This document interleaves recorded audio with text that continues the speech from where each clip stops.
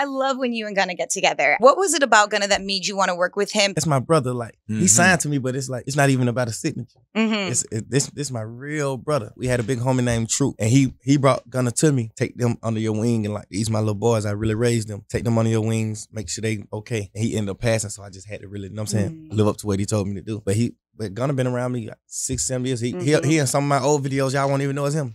That that there. relationship isn't artist, label Fuck. owner. That's yeah. I never received one dollar from him. Damn. Not one dollar. Ask him. Ya yerlerde sürünüyor. Ah kocaman adam yerlerde sürünüyor ya. Şuna bak ya. Şu tombik oğlan nereye geldi karşılaştığı sürprize bak ya. Bu adam senin arkadaşın ya kankam bu adam senin ya. Bu adam senin canın ciğerin oğlum. Bak bu adam senin canın ciğerin lan. Bu adama niye yamuk yapıyorsun? Herifin senin gözünün içine bakarken gözünün içinde arkadaşlık nidası var böyle gözün içinde. Diyor ki bu benim kankam diyor bu. Bu benim beraber çocukluğumu geçirdiğim adam diyor ya. Gana Snitch mi? Snitch bildiğimiz gibi gammaz demekti. Fare ise kendi götünü kurtarmak için kendi ekibini gammazlayan demekti.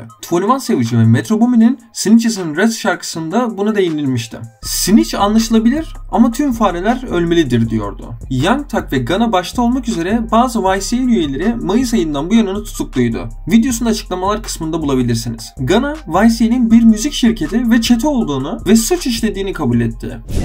is And you have personal knowledge that members or associates of YSL have committed crimes in furtherance of the game. Yes, ma'am. You were present when law enforcement officers stopped the vehicle in which you were present along with Jeffrey Williams, wherein hydrocodone, methamphetamines, and a firearm were recovered. These items did not belong to you.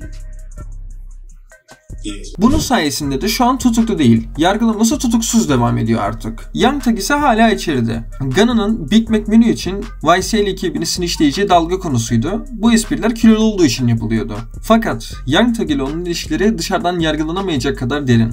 YSL üyelerinin avukatlarının farklı hukuk bürolarından oluşacağını sanmıyorum. Savunmalarını beraber yapıyorlar. Bu nedenle avukatlarıyla birlikte bir strateji yürüttüklerini düşünüyorum ben. Yani Gunna bunca süre hapiste bekleyip de artık yeter ya itiraf edeyim de kurtulam dememiştir herhalde. Savunmaları buradan devam edecektir. Sonuçta üstlerine atılan tüm suçlamaları kabul etmediler ve bazı durumlarda eğer kaçış yoksa en az cezayı alabilmek için bazen kendini ateşe atmak gerekebilir. Sonuçta şu anda evet cinayetleri de biz işledik hepsini de Young Thug yaptı hakim hanım demedi yani. Six Nine bu durumda demiş ki e o da sinişliyor onu da işlesenize. So he just in, in- he just incriminated, implicated YSL being a gang. So now his fat ass is home, right?